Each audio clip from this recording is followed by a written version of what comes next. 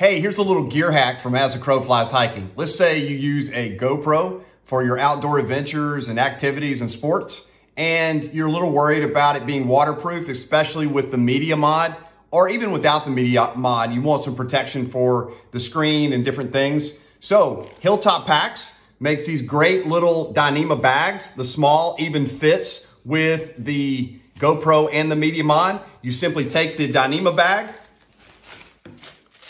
pull it down over the GoPro. You can even cinch it up if you want to. Keeps it completely waterproof and screen is protected from different things. So check it out. Hilltop Packs makes the, I guess I could call it the GoPro poncho.